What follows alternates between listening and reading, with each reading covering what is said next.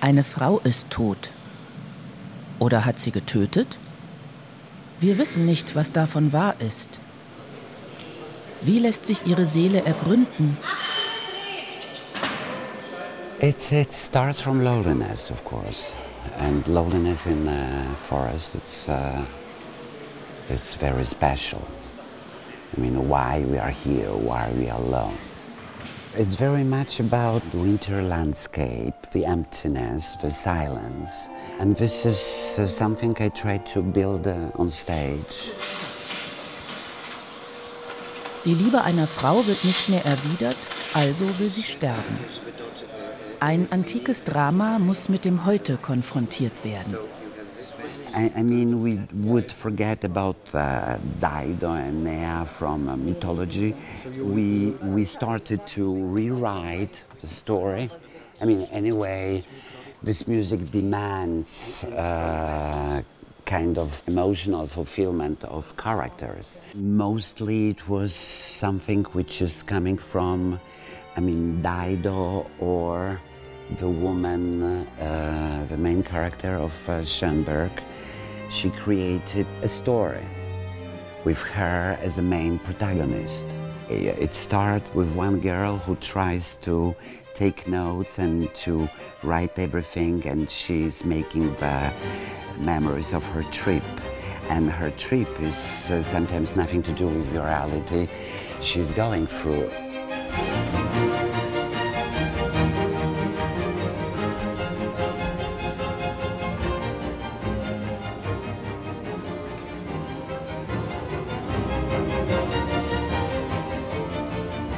We've announced this as Dido and Erwartung. That the secret behind the scenes is that we need something between the two operas because the orchestra changes hugely. Purcell is using quite a small orchestra by modern standards, it's tiny. So we need time to get the orchestra in without disturbing the evening. We want the evening to run as one. I think this was Krzysztof Warlikowski's idea to have some music brought in.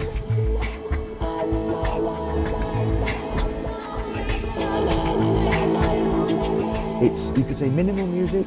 It's a loop of music, so repeating, repeating, repeating. The interlude is an ostinato. That's, you know, a lot of minimal music, that's what it is. In a way, Purcell has been using quite simple forms and, and a lot of ground basses, ostinatos. So he's taken, you could say, the essence of Baroque music and he's created the interlude and then lets us into Erwartung, where the one thing that does happen in Erwartung, there's no melody, there's no normal harmony in the normal sense, there's very little rhythm you can hold on to, but there are some ostinatos in Schoenberg. We look at a piano keyboard, it's got white notes and black notes. Schoenberg looked at it not as a succession of notes which sort of relate to one another. He decided to ignore that relation he then starts from that moment where each note is its own thing, and he then built up a whole other system. And so he's building in a very weird way, but there's a logic to it. it if you might hear it and think, is this random? Is this guy just crazy? What he's done is he's, he's created clusters of notes, and very often you're hearing at least three, more often four or even six notes in clusters which are clashing with each other. But because he's using this system throughout, when you almost are expecting the whole piece is going to break apart, there is a logic to it, a very hard logic that's holding the piece together. Der Zustand des Wahnsinns tritt ein. Die gewohnte Ordnung verliert ihre Gültigkeit. Was ihr jetzt machen müsst, ist das Cembalo nach hinten schieben und die Pulte hinstellen. Das probieren wir jetzt dann mal zu timen.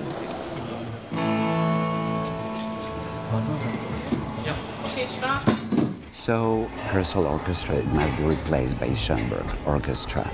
Then you must create a transition part in order uh, that uh, you don't make, uh, you don't stop.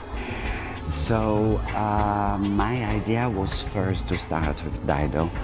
And uh, of course, this transition moment would be connected to the murder. I mean, I must find something which suggested. I mean, how Dido dies. Does she die? Uh, did she kill? Or it just madness of this uh, woman? That's why, for me, the best was like enter in her story. She's writing. Handelt es sich also um eine unwirkliche Geschichte?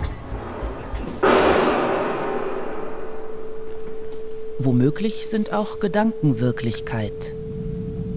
Feel yourself. Where, where, where it's going? Yeah, it's going to uh, something with what Schoenberg starts with a monodrama of a woman who uh, did kill uh, her lover. She might have killed as well the woman, so uh, it's finishing bad. Am Ende sind wir vielleicht doch alleine mit uns selbst. I think this is a, a, a, fascinating piece, and it's very important for Schoenberg. He, it comes at a time in his life when there's been terrible turmoil, where he's, he's split up with his wife, she's been off with another man. That man then killed himself, a younger man. So terrible uh, trauma going on in his life. But he focused, and I believe he wrote this piece very quickly. Uh, he focused on trying to get inside the head of a woman who's, who's also going through great trauma.